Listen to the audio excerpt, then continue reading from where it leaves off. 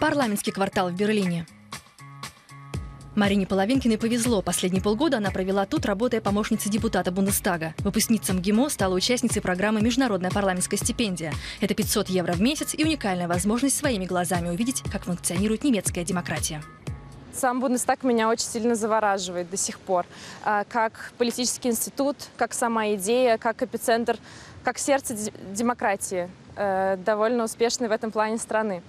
А, И очень хотелось всегда попасть внутрь не как турист, не как обыватель, а как человек, который знает обо всех этих процессах изнутри. Прозрачность фасадов парламента словно напоминает политикам о транспарентности властных структур. Здесь депутаты обедают. А по этим туннелям переходят из одного здания в другое. Мы находимся сейчас в туннеле, который ведет из Паулёбе-хаус в Рейхстаг. А, И такие туннели соединяют все здания Бундестага для того, чтобы депутаты и работники Бундестага смогли быстро передвигаться под землей, не покидая здание и не проходя вновь и вновь контрольно-пропускные пункты. А вот и сам зал заседаний. Здесь Марина вместе с другими стажерами не раз следила за горячими дебатами.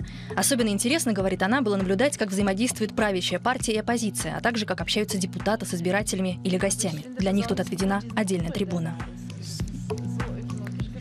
В таком случае депутат обязательно а, придет на встречу с э, группой своего избирательного округа и ответит на все вопросы, в том числе на самые коварные или, или немного критичные, в том числе про зарплату, про то, почему в пленуме часто депутаты сидят в телефонах или не сильно внимательно слушают, или ругаются, или смеются, или не поддерживают друг друга.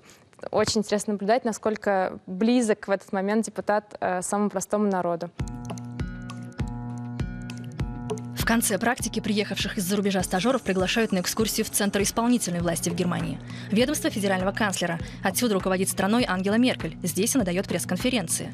А здесь встречается с министрами. Марине повезло. Во время стажировки ей довелось лично пообщаться с Ангелой Меркель.